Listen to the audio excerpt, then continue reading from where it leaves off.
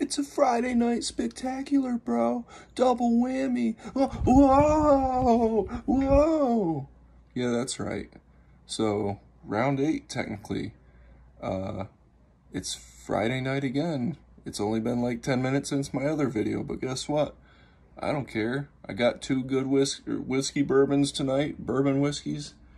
I'm tearing it up. So this is Jim Beam Black, extra aged bourbon. It doesn't say how long it's aged, but I don't care. I've already had this. It's pretty good. So it's like, uh, let me do some sipping here. Little background on this, by the way. So over the weekend, I was with the in-laws, my second family, and uh,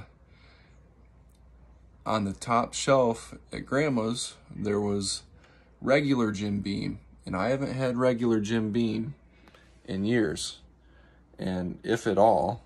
And I was very impressed with it, um, being that I've tried all these other ones, right? So I saw this on the shelf, Jim Beam Black, and I said, well, Lord have mercy.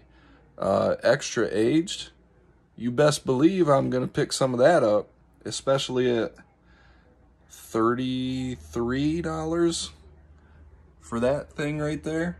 That's a regular size. It kind of looks small in the video probably, but um, anyway, without further ado, I'm taking up too much of your time probably, so um, already poured it. Let's uh, let's do it up.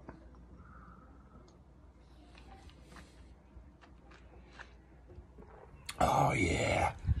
All right, so this is um I would say better than the regular Jim Beam definitely better than that shitty double oaked that I reviewed a while back. Um, sorry, Jim Beam, but double oaked, really? Shit was pathetic.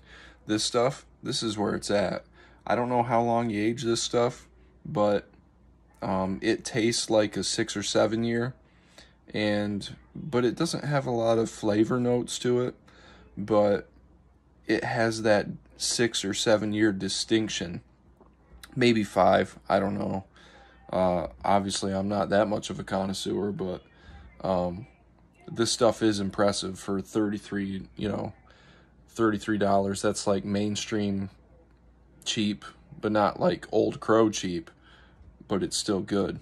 So, um, you want a nice smooth matured a matured age taste, then this is right up there with Wild Turkey 101. In fact, I'd say this is nice because it has that uh, obviously the uh, extra aged flavor profile to it.